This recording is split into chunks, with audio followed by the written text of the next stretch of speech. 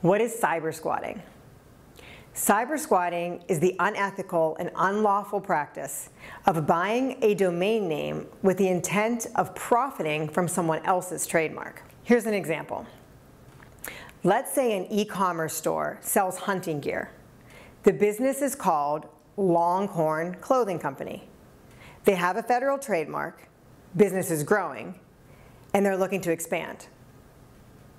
They currently own the web address www.longhornclothing.com. But they've caught wind that people are starting to search for Longhorn apparel. So they want to purchase the domain name www.longhornapparel.com.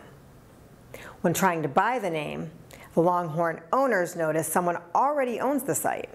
Now what happened was a cyber squatter noticed the growth of Longhorn Clothing Company. They had the foresight that customers were eventually going to incorrectly search for Longhorn apparel rather than Longhorn clothing.